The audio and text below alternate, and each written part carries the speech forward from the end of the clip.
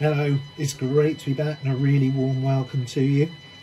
I'm not upstairs with the old vintage railway today. I'm in, well, it's the evening. I'm just doing a bit of extra work and I've found a bit of time to do some model railway related stuff. So I'm going to make a video.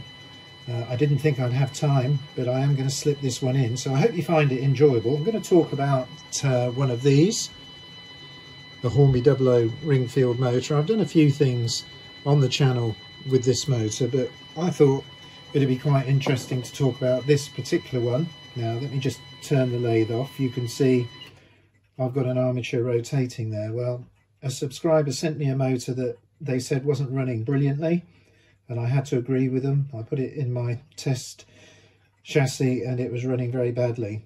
And the first thing I found was that it was slightly bent in the shaft and the end bearing. Now I think that what had happened was it had been put into a loco.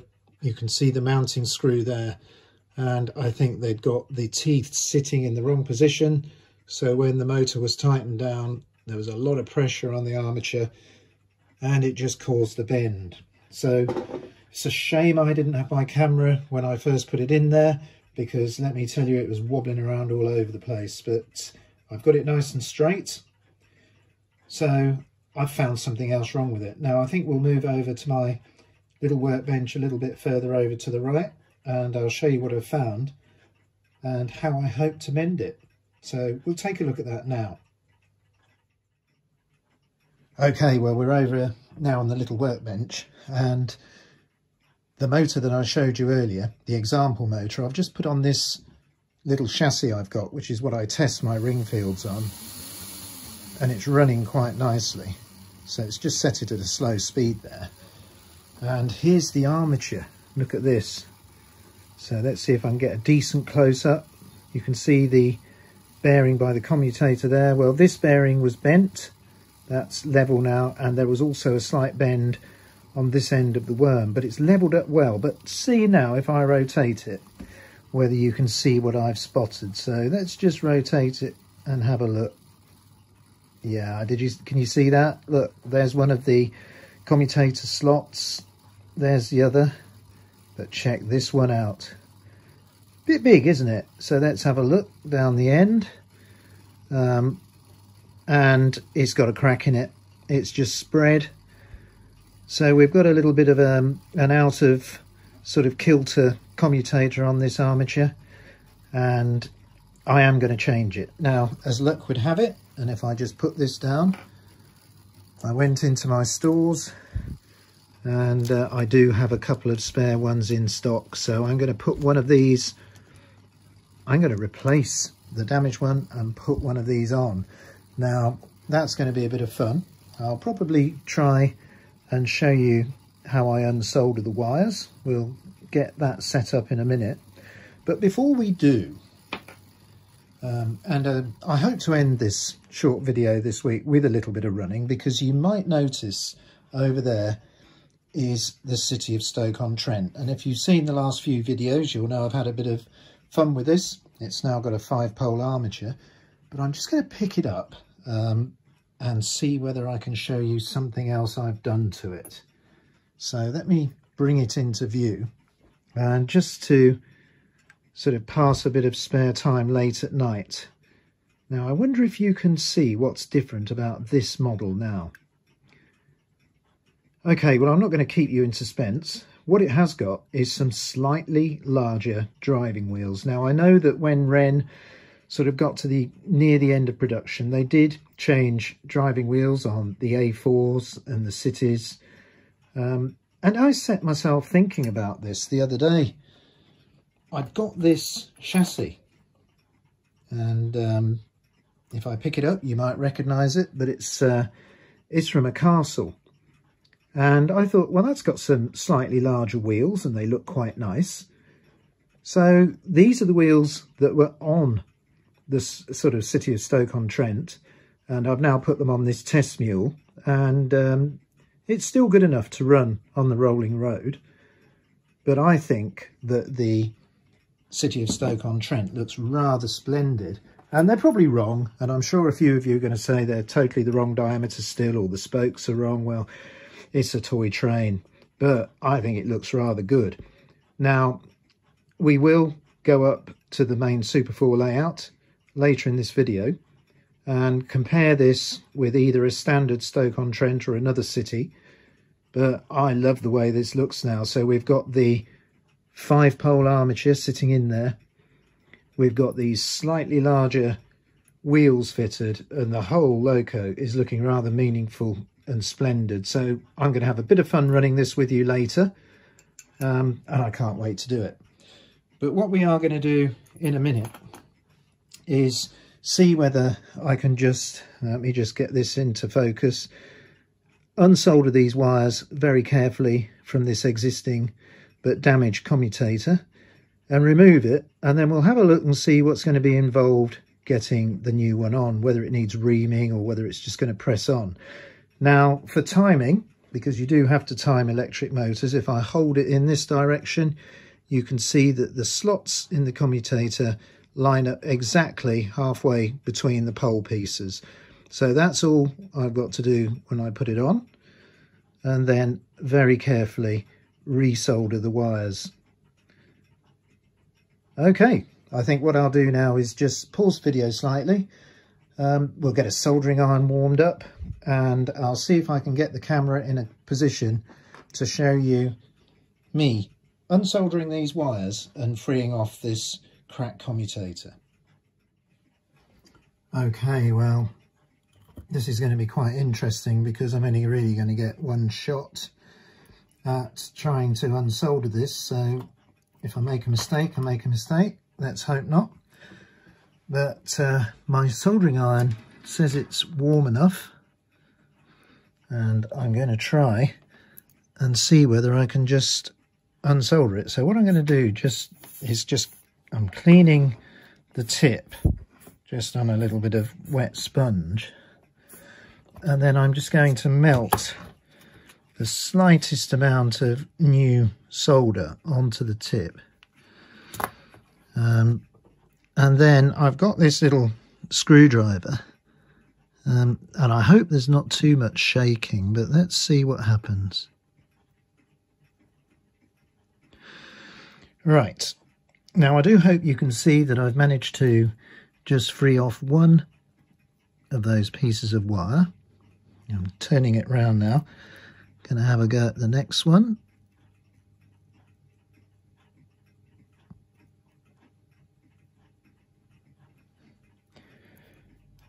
Okay, that's two done. Let's see if I can just get the final one freed off.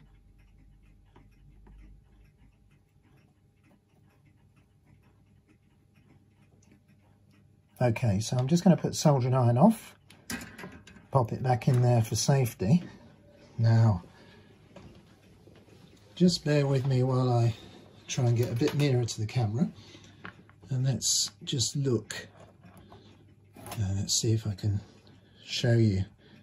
Hopefully you can see that the wires have come off and they're just lying nicely to the side. Okay, now, even though this is split, I bet it's going to be very tight. So I'm going to have to devise, sorry, that went out of shot, didn't it? Many apologies. I'm going to have to devise a way of pulling it off. I mean, I will just get my fingernail behind it. That's on very tight. So it's almost shrunk onto the shaft, I think. Something's probably just changed, the properties of the inner part of the commutator have changed. It's got tighter and tighter and it's opened up. Now what I must do is make sure I don't damage the windings. So I haven't got anything prepared just at the second. So I am going to pause the camera and just see whether I can draw this off. So we'll be back in a second and we'll see whether I've got it off. Okay, well, nothing very technical. What I can tell you is I just got um, a very small pair of pliers and applied a little bit of pressure to one edge. Now it seemed very tight, but then it sort of started moving quite well. So I am thinking maybe I'll be able to pull it off now. Um, so I've made a bit of a a liar of myself there, haven't I? So let's just see whether I can ease it a fraction more. So I'm just carefully, I put a little bit more pressure on and it's, it's slid along the shaft. I must be careful, so that's still not uh, coming off. So, I, I mean, it's not really in great condition, so I'm going to grasp it there. Right, so let's look at the components. So we've got our armature there, and I think you can probably see there's splines on the armature shaft where the commutator goes. And it does almost look like it's gone a little bit rusty, or maybe something's got in there and opened it up. So let's have a look at the offending article. There's our big section. It's, I don't know, it's it's not very easy to see the crack, but it has cracked. Um, yeah, we've got to replace that. Okay, well, let's have a look at uh, one of the new ones. Now, showing you how prepared I am. I haven't got it out of the bag, so please just bear with me. So here's one of the new ones, and rather like the original, it's, it's got a slightly, the bit that goes towards the armature, slightly curved and then flat. So I wonder what the dimensions are like.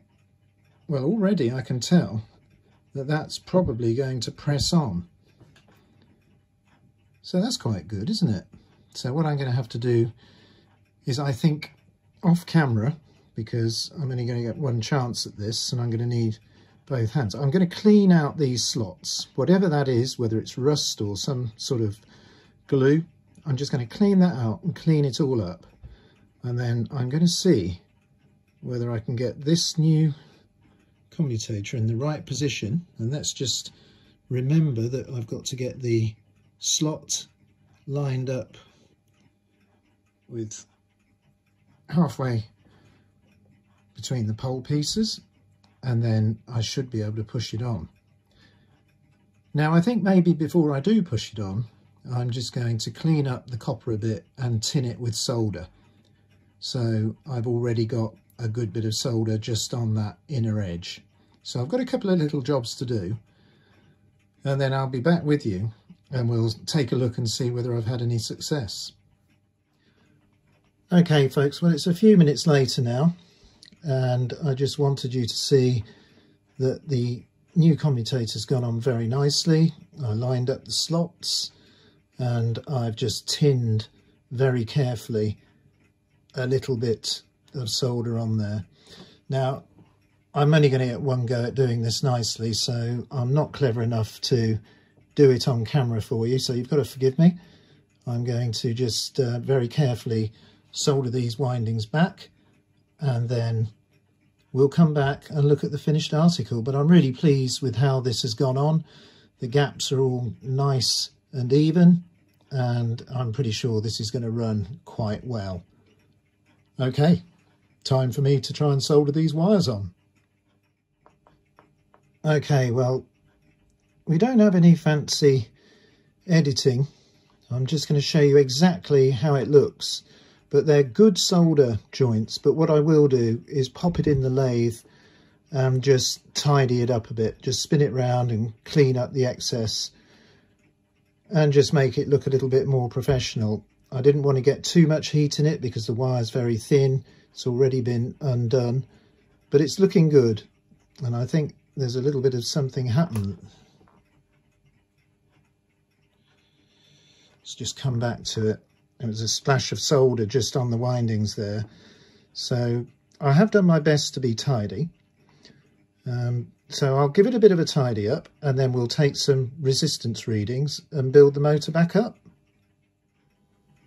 Okay, well I've been a bit longer away because of my dinner and a few other bits, so time's run out this evening, but I can show you this. Now it's been in the lathe. And it looks pretty good doesn't it? I've removed the excess solder and uh, perhaps not quite as good as factory but it looks okay. So let's see what we've got on the meter. So hopefully, first of all, I'll just do a check to the earth. So I can check the laminations there. Got a good contacts, but no, it's looking good. So let's go between the poles. So we'll start off here. And if you have a quick look at the meter as I go, 6.2.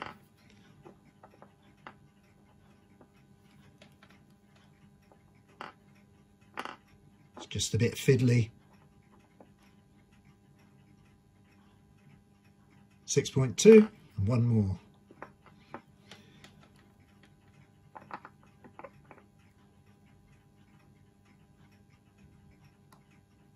Just slip there. Let's just try again. 6.2. Okay, so I'm happy with that. All the readings, excuse me, I've just dropped my probes on the floor there.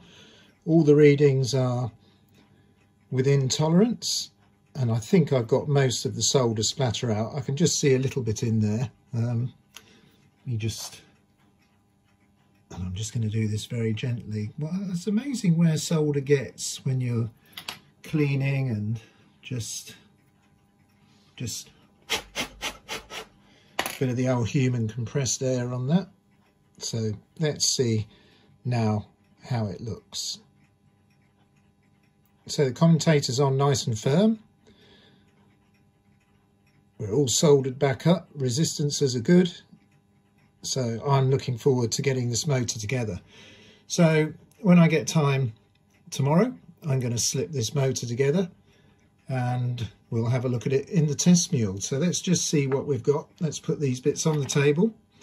There's the, um, oh, it's funny the old focus plays up, but there's the, look at that, that crack's really opened up.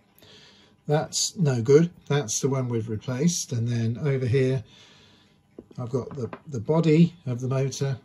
I've remagnetized the ring field magnet. And then if I can just see whether I can just show you the, the other bits that are just in this little container. Let's have a look. There's a couple of brush springs.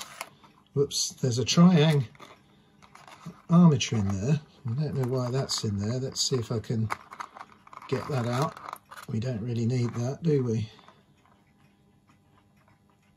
That's seen better days, that X04 armature. That's a burnt out one, so we'll definitely have to try and rewind that at some point. But um, there should be two brushes in there, a couple of brush springs and four screws. So we'll give that a good clean up and hopefully the ball bearing is in situ. I think you can see it in there. And I'll double check the bearings in this end of the motor. Whether we can see I don't know. The light's not brilliant. Let's just try it from this direction. I think it's in there. I'll double check that before I put it together. But we'll come back when I've got this motor together and we'll put it into our little test chassis which I've got here so I'll take this motor out which is mine and um, hopefully our subscribers motor will be running nicely. And then we're going to take that City of Stoke-on-Trent up to the main layout for a bit of a run. Okay, stick with me and we'll be back. Right, well this is always the fun bit, connecting things up and trying them, but I've made a slight mistake here and I didn't notice this myself when I was looking at the motors earlier, but perhaps you can see we've got two different lengths of these ring fields now. There are variations, but of course what that means is unfortunately the little test chassis I'd got ready to put the rebuilt motor in is going to be useless because that's designed for the longer motor and what we have here with the subscribers motor is a shorter one. But never mind, I've connected it up. We'll try it in a second, but uh, let's just have a look. I've put a little bit of white grease in each of the bearings to hold the balls in, the smallest amount of oil. Um, I've just put a wire to that screw and then to the pickup. Um, brushes are all refaced and everything's back together. Now it probably will take a little bit of running in, but let's just put some power on. So observe this worm. And as I put the power on, I do hope you can see that there's a really nice smooth running there. I've got that set at a slow speed so you can almost see the, the worm revolving. And that just shows that we've got a nice straight armature shaft and there's no doubt that this new commutator is working really well so I've quite enjoyed fixing this motor. Let's just try it in the other direction. So already this motor's becoming quite responsive. You've just got to bed those brushes in. But there we go. Just running it under light load for a few minutes would be advantageous but if if you're anything like me, I'd be putting that in a loco and just gently running it around the layout. And I think this is probably going to turn into a good runner. They're made very well, these motors. So what it really wants is running in, the smallest amount of oil adding, but not too much. And then just have fun and enjoy. So I'll get this back to its owner and I hope they find that it's a good runner. I think it'll be all right. And then to finish off the video, as I said before, we're going to head up to the Triang Vintage Super 4 Railway and we're going to run this now beautifully modified City of Stoke-on-Trent. So we've got the larger wheels to compare with another model and then a little bit of running to enjoy. Now I've got quite a bit of work on today so I'm going to just sneak in this bit of running first, just to give me uh, a little bit of um, enthusiasm to go into the day's work. So join me in a second up at the railway. So I've made it up into the loft and uh, here's the two City of Stoke-on-Trents sitting next to each other and hopefully you can see the difference that putting the slightly larger wheels on the loco has made. So the one I'm just moving slightly is the original and that's just untouched. That's from the collection. I do have the box and the paperwork. Um, this is the one we've worked on in the last two or three videos and I think it looks quite good with the larger wheels. So I'll let you decide. But to finish off today now, I am going to put the modified Stoke-on-Trent back up on the track and we'll just have a minute or two watching it haul these Pullmans. Well, as even more rain seems to be falling today, it is great to snatch a few minutes up here and just get a little bit of running. Now look, doesn't doesn't this loco look great? Okay, it's not probably terribly accurate, but I think it looks really good with those castle class wheels fitted. The black livery and the black wheels look really good together. And it's very convenient of Wrenn to have kept the wheel spacing on the castle class loco exactly the same as this city. So everything swaps over really nicely. Okay, time for some running. I'm moving over now. I'm going to try and get the power on. I want to see if I can get a, a nice five pole start something really smooth. So let's just put power in, see if we can get the loco away. And it is eager to move. Just love watching it go around the back of the layout. Just going to leave it at this slightly slower speed for a minute because I'd like to get a nice look at it as it comes through the big station.